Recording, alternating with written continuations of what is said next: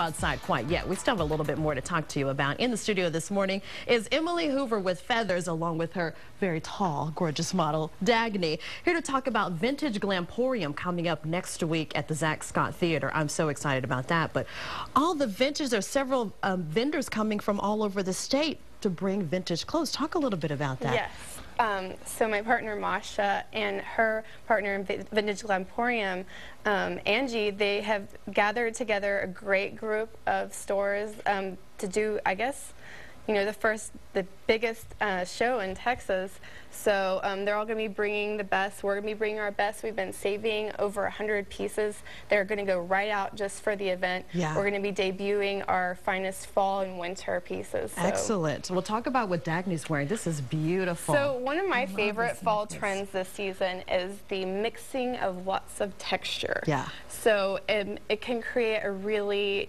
deep, luxurious look. And it's pretty easy to do. So she's that. wearing a beautiful, long uh, floral silk dress. That's gorgeous. And then a, a drapey 80s uh, hanging fringe jacket is what I call it. Yeah, I love And then. Um, so you can make sure you hear her coming. I know. I heard you guys walking. I was like, what is that? she has a really beautiful um, crescent moon pendant necklace. That's gorgeous. And then talk about these other pieces. Oh, this is yes. my favorite. I, mm -hmm. This is so Mm-hmm. I mean, uh, it's it feels like it's um kind of Romanesque. right, right. Yeah, I believe this I is Indian. It. Yeah, and you actually insert it. Yeah.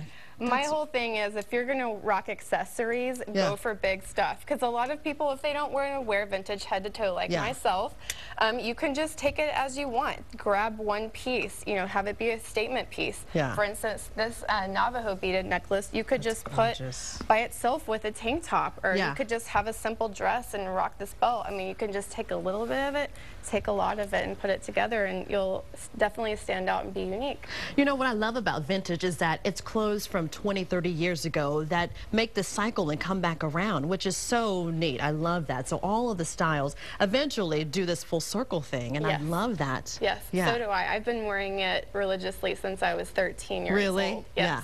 Some things I might still have, and then I'm constantly looking for the new you know, my new favorite treasure. Yeah. You guys showed at a style week this week, Triveza Style Week. Yes. On Thursday, there was a big fashion show. I love all the pieces that you showed. Thank you. Yeah, it was great. Absolutely great. Well, the Vintage Glamporium is coming up next weekend, October 8th and 9th. It is at the Zach Scott Theater. It's only $5. Cash only, though. Do not bring your checkbook. Do not expect to get in with your debit card, right?